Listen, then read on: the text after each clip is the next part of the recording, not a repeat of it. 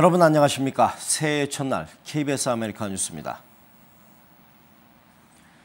새해 첫날인 오늘 LA 그리피스 산엔 많은 한인들이 이른 아침부터 산 정상을 찾았습니다. 저마다 부푼 기대와 희망을 간직한 정상에서의 모습, 윤범수 기자가 취재했습니다.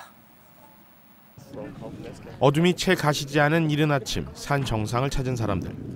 살을 에이는 추운 날씨 속에서도 얼굴에는 생기가 느껴집니다. 조금씩 날이 밝아오면서 기대와 설레임도 커져갑니다. 드디어 2016년의 첫 해가 모습을 드러내는 순간 소원을 빌고 가족 그리고 연인과 손을 맞잡고 추위를 녹이는 햇살에 몸을 맡기기도 합니다. 2016년 새해 첫 해가 뜬 이곳 그리피스 산 정상에는 많은 한인들이 올라와 한 해 소망을 기원했습니다.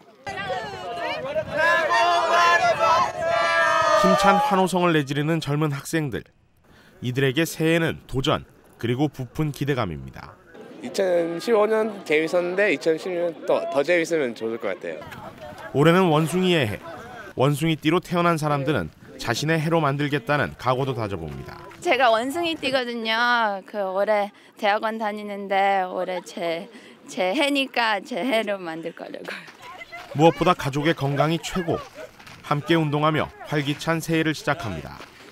우리 아이들이랑 같이 새 resolution으로 100 jumping jack everyday 그래서 오늘부터 시작하려고 자신보다는 이웃 그리고 건전한 사회를 기원하는 사람도 있습니다. 저를 떠나서 이웃 모든 그 이웃들하고 다 같이 건강하게 어, 하여튼 건강한 게 첫째입니다. 산 정상에서 힘차게 한 해를 시작한 한인들. 저마다의 생각과 바람은 다르지만 새해 첫 햇살을 맞은 모든 이들은 가슴에 희망을 새겼습니다. Happy New Year, everybody. Have a safe New Year, and uh, pick three or three things you want to do, and you'll do them. See you next year on top of Mount Hollywood. 감사합니다.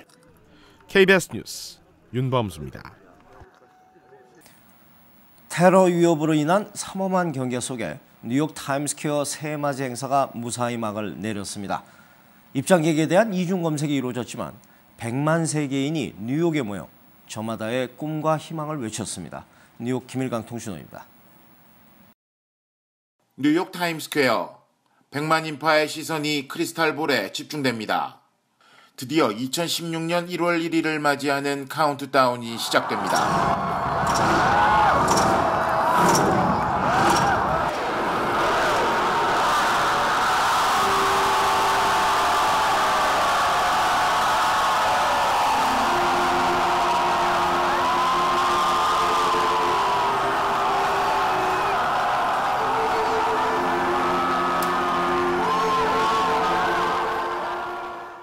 다사다난했던 2015년 새 소망이 가득합니다. 좋은 인연을 많이 만나서 새로운 추억도 쌓아가고 그리고 지금 인턴 이제 1년 하게 됐는데 인턴 하면서 많이 배웠으면 좋겠습니다. 새해에는 좀 운동 좀 많이 했으면 좋겠고요. 그 다음에 여행도 많이 했으면 좋겠어요.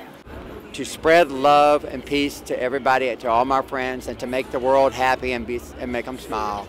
세계인이 함께하는 타임스퀘어 축제. 맨날 속만 썩이고 또 아직까지 또 결혼도 못 해가지고 또 어머님이 속상하신 것들이 있는데 내년에는 또 좋은 소식 전하는 딸이 되도록 노력하겠습니다. 모든 대한민국 엄마 아빠 감사합니다. 화이팅! I love everybody at home so much and miss them and I'm going to meet them in like a half of a year. But yeah, we'll just say Happy New Year to everybody. 저희 엄마 아빠 가족들 다 건강하고 앞으로 진짜 지금보다 더 많은 좋은 일만 생겼으면 좋겠고요. 친구들한테도 어, 사랑한다고 말하고 싶고요. 테러 위협이 고조되면서 삼엄한 경계 속에 치러진 뉴욕 새해 맞이 행사. 그 111번째 막을 무사히 내렸습니다. 지금까지 뉴욕이었습니다. 올해 지구촌의 새해맞이 행사는 이슬람 순위파 무장단체 IS의 테러가 있을지 모른다는 우려로 긴장감이 높은 가운데 치러졌습니다. 특히 지난해의 경우 파리 테러 여파로 인해 유럽 각국에선 행사가 취소되거나 축소됐고요. 기차역이 폐쇄되기도 했습니다. 보도에 손서영 기자입니다.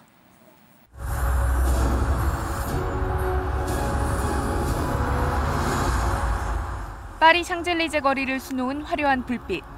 여느 때와 다를 바 없어 보이지만 올해 새해 맞이 행사 규모는 대폭 축소됐습니다.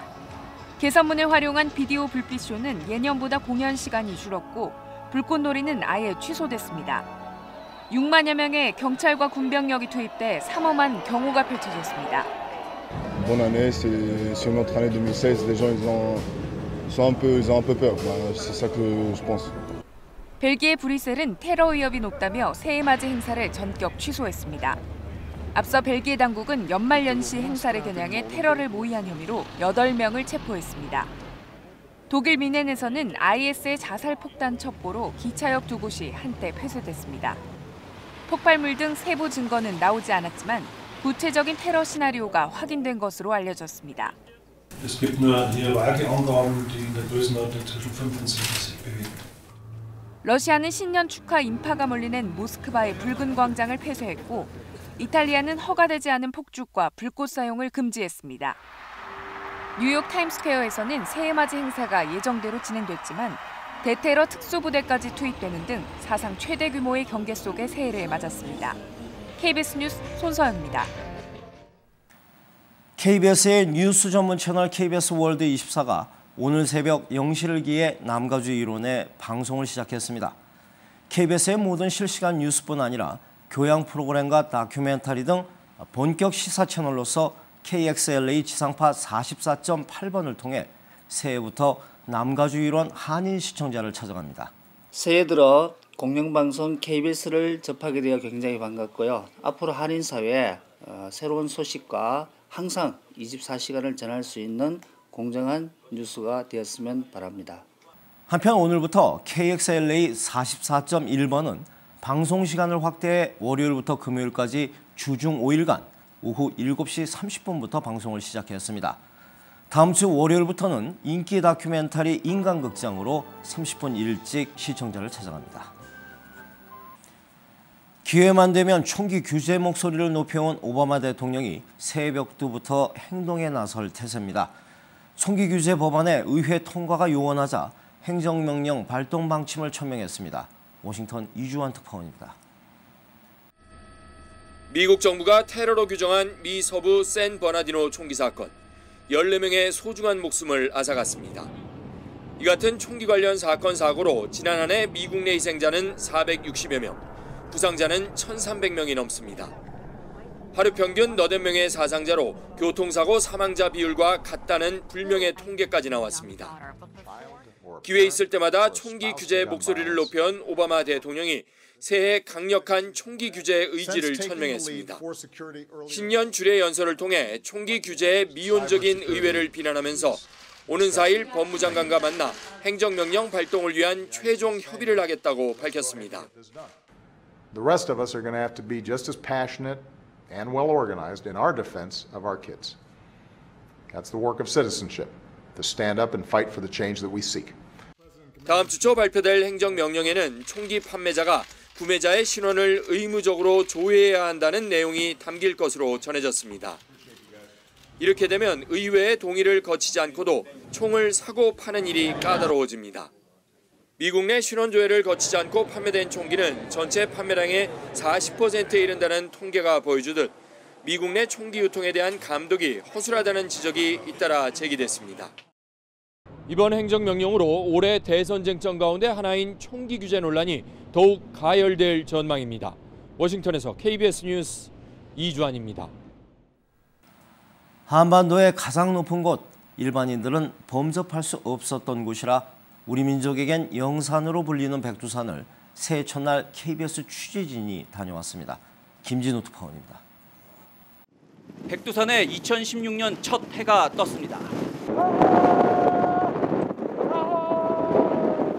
한반도 가장 높은 곳 천지부터 우리 땅 방방곡곡을 비춥니다. 새해 첫날 많은 한국인이 민족의 영산을 찾았습니다. 2016년도 이 성스러운 백두산과 이 천지를 바라보면서 남북이 하나 되는 그런 해가 되기를 바랍니다. 천지에 오르는 게 17번째입니다. 근데 오늘이 가장 맑은 날인 것 같아요. 그러나 백두산은 초속 20m의 강풍을 불어 오래 머물기를 허락하지 않았습니다. 천태만상 백두산을 보기 위해 이번엔 2시간 거리의 서쪽 등산로로 향합니다. 바람이 비교적 덜 불어 눈이 그대로 쌓여 있습니다. 설상차를 타고서야 1800m 백두산 능선까지 오릅니다. 여기부터는 가파른 계단. 마침내 천지. 힘든 만큼 감탄이 절로 나옵니다. 북한 쪽에 있는 해발 2,750m 최고봉 장군봉이 한눈에 보입니다. 서쪽에서 올라가는 천지는 북한과 맞닿아 있습니다. 여기부터는 북한 땅입니다. 평소에는 북한 경비용들이 있던 곳이지만 영하 30도의 추위에 오늘은 북한 경비용을 찾아볼 수가 없습니다. 새해 첫날 68m 천지 폭포는 얼어 있습니다. 그러나 아래 계곡물은 지금도 힘차게 한민족의 땅 한반도를 적시고 있습니다. 새해 첫날 백두산에서 KBS 뉴스 김진호입니다. 이른바 글로벌 불황으로 인해 세계의 젊은이들도 취업난에 어려운 시기를 보내고 있는데요. 세계 청년들의 도전과 이를 지원하는 정부의 노력은 어떤 것들이 있는지 알아보겠습니다. 뉴욕의 박에스터, 런던의 김동원, 그리고 베이징의 오세균 특파원이 이어서 보도합니다.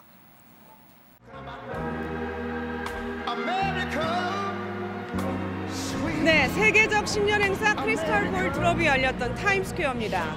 이 젊은이들은 이렇게 새벽녘까지도 자리를 뜨지 못하고 있는데요. 1980년부터 2000년 사이에 태어난 이 미국의 현재 20, 30대들을 밀레니얼 세대라고 부릅니다. 하지만 이 타임스퀘어의 영광을 만들고 체험했던 아버지 세대와는 다른 상황에 처해 있습니다. What is your wish new year? to get a new job that's more permanent because this job is temporary. To go to the gym more and to spend all of my extra time with friends. I don't like getting into that. It's very important to pay it off really quick and avoid it altogether. 경기가 되살아나 실업률이 5%까지 떨어진 미국이지만 청년 실업률은 여전히 11%에 달합니다. 이들을 더욱 힘겹게 하는 것은 엄청난 대학 등록금 덕분에 많게는 수억 원대 학자금 대출을 안고 사회생활을 시작한다는 것입니다. It distorts their own lives, creates distortions in the economy. They're inhibited from going because they're afraid of debt. 하지만 이들은 창업, 프리랜서, 파트타임직 등으로 노동시장 변화에 적응해가고 있습니다. 정부도 청년 세대 부담을 줄이기 위한 다양한 대책을 추진 중입니다. 새해부터 뉴욕과 캘리포니아 등 13개 주가 최저임금 인상을 시작해 장기적으로 시간당 2만 원까지 올립니다. 대선 후보들도 앞다투어 대학 등록금 부담 완화 등의 공약으로 밀레니얼 세대 표심 잡기에 나섰습니다. 한때 8%까지 치솟았던 영국 실업률은 최근 5%대로 떨어졌습니다. 그러나 청년 실업 문제는 갈수록 심각해지고 있습니다. 커피숍에서 1년 동안 아르바이트를 하고 있는 로레 씨. 시간당 12,000원의 임시직이지만 일을 할 수 있다는 자체가 다행입니다. I applied for quite a lot of jobs. I think I must have sent like 30 to 50 uh, CVs. I was really desperate to find a job. 16살에서 24살의 실업률은 14.8%로 금융위기 당시보다 높은 것으로 나타났습니다. 집 없이 전전하는 청년 홈리스가 8만 명에 이르는 등 청년 빈곤 문제도 심각해졌습니다. 영국 정부가 팔을 걷어붙였습니다. 기업들로부터 세금을 걷어 오는 2020년까지 청년 일자리를 300만 개 창출한다는 계획을 내놨습니다. 그러나 살인적인 물가와 치솟는 집값 상승 속에 청년 실업에 대한 근본적인 대책 마련이 시급하다는 분석입니다. 네, 저는 지금 중국 청년 창업의 상징인 베이징 중간촌 창업거리에 나와 있습니다. 이곳은 샤오미나 레노버 등 세계적인 IT 그룹이 탄생한 중국의 실리콘밸리로 통하는 곳인데요. 이곳의 청년 창업의 비결을 알아봤습니다. 커피 한 잔 값으로 하루 종일 앉아 일을 할 수 있는 중간촌의 한 창업 카페입니다. 빈자리가 없을 정도로 하루 평균 200여 명의 예비 창업자들로 늘 북적입니다. 대부분 주링허우 90년 이후생으로 20대 중반의 젊은 피들입니다. 未来十年，我们有机会成为一个大公司。呃，就像十年前， 阿里、百度、腾讯也不是当时市场上比较大的公司。 이처럼 중간촌의 창업 바람은 주링허우가 주도하고 있습니다. 중국 전체 벤처 투자금의 3분의 1이 중관촌에 몰려 있어 창업 생태계도 잘 갖춰져 있습니다. 실제로 지난 1년간 중관촌에서 하루 1.6개꼴로 신생 벤처기업이 탄생했습니다. 이런 창업 열풍을 바탕으로 지난해 중국에서 1,200만 개의 기업이 생겨났습니다. 중국 정부는 창업의 문턱을 대폭 낮추고 파격적인 세금 감면, 정책 자금 지원으로 혁신형 창업과 창커를 적극 육성한다는 전략입니다. 새해 첫날 함께한 KBS 아메리칸 뉴스 여기서 마칩니다. 새해 복 많이 받으십시오.